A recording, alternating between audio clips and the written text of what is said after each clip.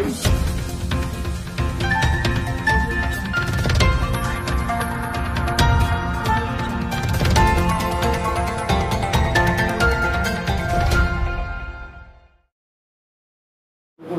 पंजीयन करता है कि हमने क्या चीज़ें डील की। जो चीज़ें कहा, उसी को निबंधन यानी लिपिबद्ध कराता है, वही रजिस्ट्री होता है।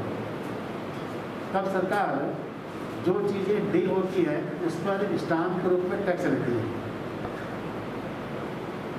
इसमें कोई भी व्यक्ति क्रेता विक्रेता सीधे रजिस्ट्री ऑफ़िस जा करके अपनी रजिस्ट्री करा सकता है। वह अपने किसी अधिवक्ता का होना वहाँ ज़रूरी नहीं है। वो चाहे तो अपने सहयोग में ले ले आ सकता है। यानी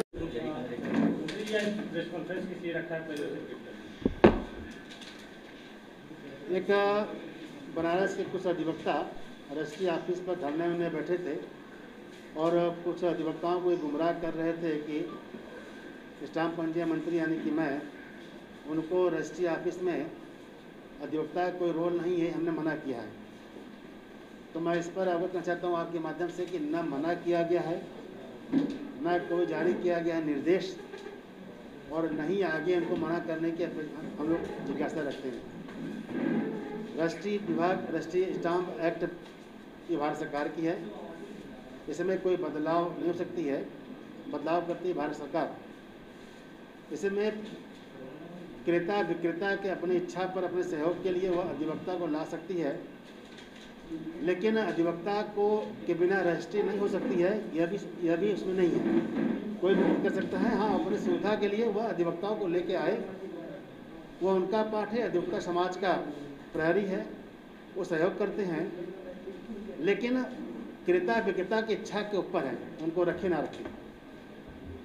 उनको लेके आते हैं तभी रजिस्ट्री होगी नहीं लेके आते हैं तभी रजिस्ट्री होगी। ये बातें कहाँ से आएगी? अधिवक्ताओं को वहाँ से हटाया जा रहा है। यह हम लोग आज से दस दिन पहले पश्चिमी यूपी का वर्चुअल हम समीक्षा ले रहे थे। मैं बनारस जुटा था हमारे जो अधिकारी से अधिकारी जुटे थे। तो उस समय एक अधिवक्ता ने कहा कि एक हमारे विभाग ने कहा कि यहाँ पर चूँकि कुछ लोग रजिस्ट्री नहीं हो पा रही है कि अधिवक्ता यहाँ पर नहीं आ रहा है? तो कहा कि अधिवक्ता नहीं डायरेक्ट लोग आते हैं तो उनका रजिस्ट्री आप करते हो ना नियम है तो करो उसको।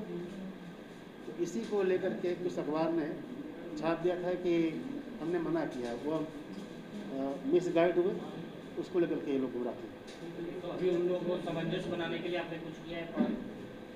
मैंने केवल आपके माध्यम से उन्हें और बाकी लोगों को अवगत करा रहा हूँ कि सरकार माननीय योगी जी के निर्देश पर यह अधिवक्ता रजिस्ट्री ऑफ़िस में प्रैक्टिस करते हैं तभी और उनके बिना भी रजिस्ट्री होगी वो आते हैं तभी रजिस्ट्री होगी। न उनको मना किया गया है और बिना उनको कोई आता है उसका भी रजिस्ट्री होगा।